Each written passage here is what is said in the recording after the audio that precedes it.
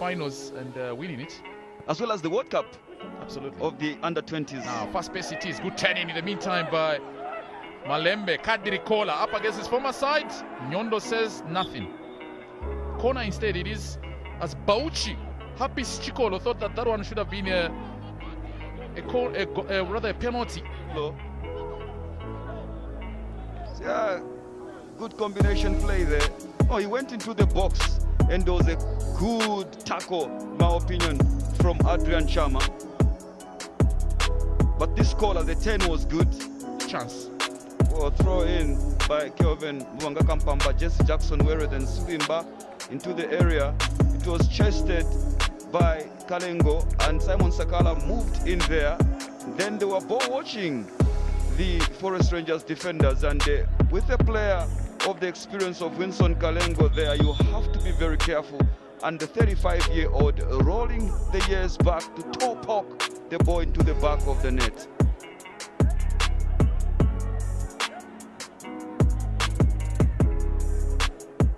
top up from the 35 year old slides like a youngster.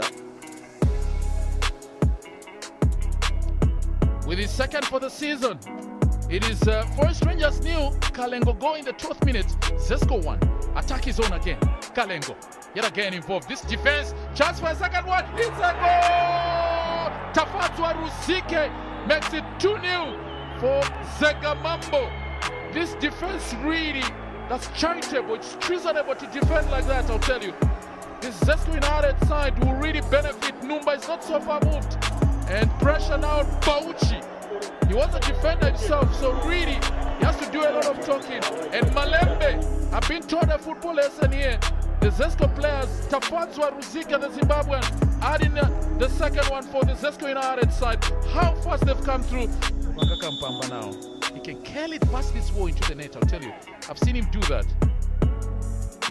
Whipped in and just grazed at the roof of the net from uh, Mubanga Kampamba. Product of the Miseshi Academy. He is Something of a ball, dead ball specialist. Skeldin looking for the top corner, but just inches over.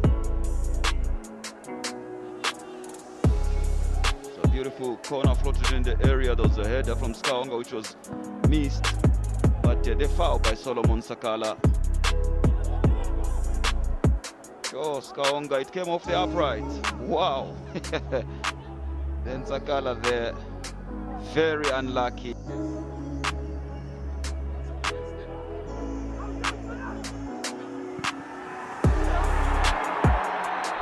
So a great strike from uh, Enoch Sakala Jr. When we're still debating about uh, the fixtures that are coming through, but what power behind that ball!